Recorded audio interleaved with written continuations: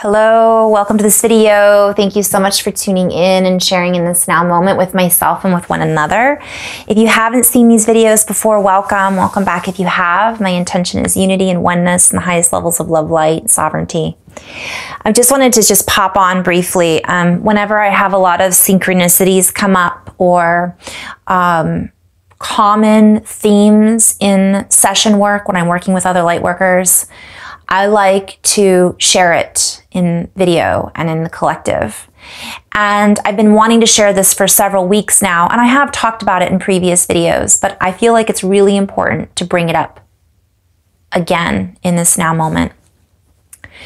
Um, the biggest theme, um, and I want to talk a little bit about the bubbles of truth and reality, and I'll do that in a more extensive video, hopefully within the next two days because it's important to talk about the layers of awakening that people are experiencing.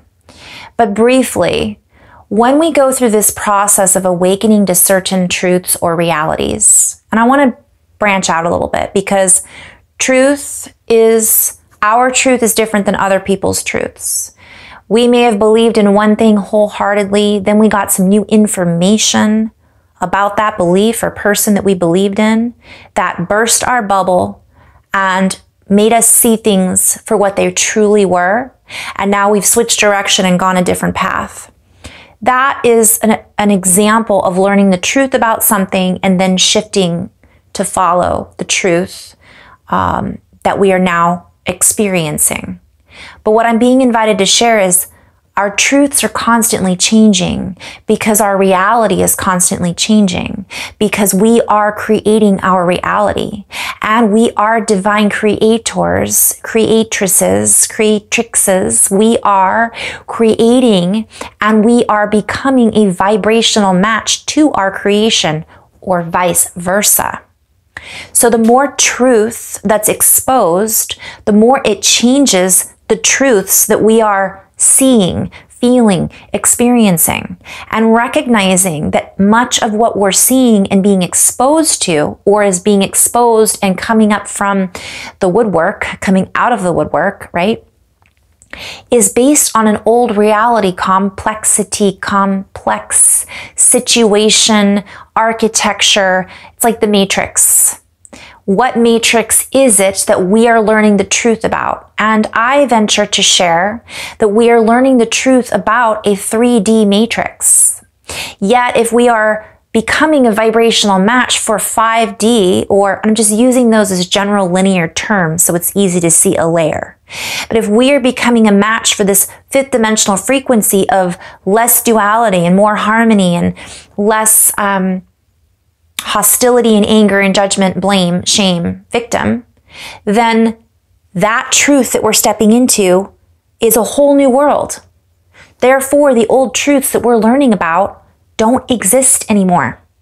Now, I went multidimensional because of course they're existing, right? They're, we're seeing them, they're playing out in front of us. We might be part of it. This might have been something we were involved in that's affected us greatly. But what I'm sharing is from a higher perspective that's old news. And it's being exposed before in a 3D vibration, we never would have seen it. It would have been hidden the whole time. Now we're seeing it. Therefore, the truth has already shifted and changed because our reality is shifting and changing. So that's a very multidimensional sharing of, of just uh, it, what I'm seeing going on. It's an echo of the past that is still in the process of being dissolved, integrated, digested, and, and removed. And we are the ones assisting in this. For if we did not, if we hadn't raised our vibration at all or our frequency, none of this would have come out. So, in essence, I'd like to share that because many people are so wrapped up in the hopelessness of what's being shown as this echo of, of um, terrible deeds, I want to just talk about us taking a moment to realize how important that is. And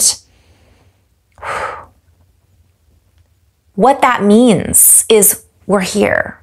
We can see it because when we're in it, and it's entrenched. We can't see it. It's hidden from us. It's no longer hidden from us. That's a step, a moving, a movement. It's not stagnant anymore. Things are being shaken up, and all of that loose debris is in the process of being reworked, digested, integrated, moved, shifted through, sifted through, realized, so on and so forth. Now, once we look at that, there's still a lot of details, and I keep being shown like you sit, you have all this crap. Let's say you have a pan it's dirty, and you scrub it, and all the particles float up. Where do those particles go? Some of them go down, they go down the garbage disposal. They go down the drain, they get washed away. But we're seeing the stuff that was hidden underneath that layer of crap. and we're in the process of removing it. Now, that's a good thing. However, we're kind of seeing things and going, ew, that's really gross. Did not know that existed. And what's happening is, I'm not going to get into the bubbles of awakening. I will do that in a different video because I do think it's important to look at the layers. But we take this and we see things for what they are. But some people are still stuck in the pan.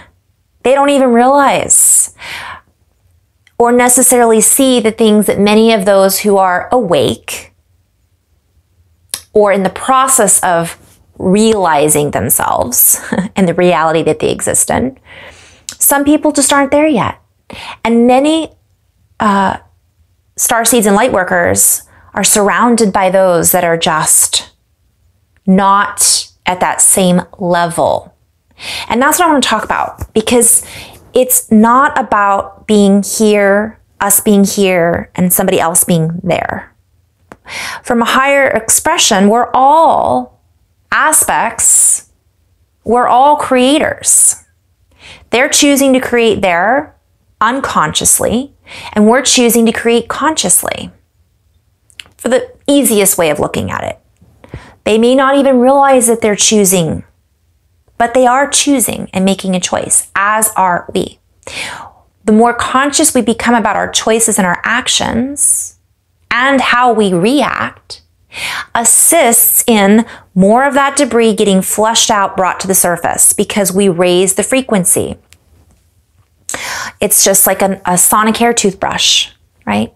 It vibrates and it vibrates at such a high frequency that other stuff can't hang on. And that's what's been going on. It doesn't make it any easier sometimes to see, though, the stuff that's been stuck to that pan, right? All the stuff that's been hidden and caked on and is now hanging on for dear life, but it can't.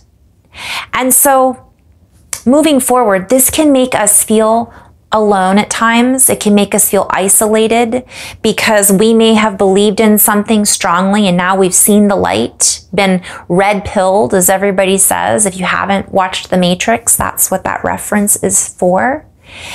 My, but at one point, we were blue pilled. And so it's important to be the purple pill, to see things that we are the red and the blue, because we've been both. And stay in being in that place of neutrality and recognizing that some people are in the blue pill, some people have chosen the blue pill, it is a choice because we are in a place of choice. That's what Earth is. Granted, many things have been hijacked, and that's a whole other video. But I just want to talk about that isolation and feeling. And I've been seeing this a lot when I've been working with others, and it's common. We all go through this. We all feel lonely at times, looking around going, Am I the only one? Yet, if you go on social media, we see that a lot of people have, have been red pilled.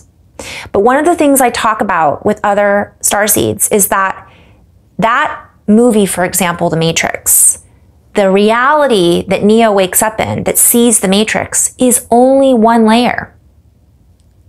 Go multidimensional for a moment. We wake up, let's say, that we're in a program or that we've been programmed, or this person is lying and this person is actually telling the truth. But what happens is we have to recognize from there that that's only one layer of reality too, because then there's another one, and then there's another one. So the less we hang on to certain belief systems, and the more that we can just find our space of neutrality, the easier it becomes for us to recognize that this is part of our process. So for uh, for those of us not seeing the layers and not seeing the uh, recognizing that we are not alone, we are not alone. Many of us have gone through this, and we will possibly continue to go through it again because it's bubbles of awakening. It isn't just one thing. It's not just one red pill that opens us up to everything, like the movie The Matrix. Even Neo in the movie had to go through layers and stages. He took the red pill, but he had to work at it.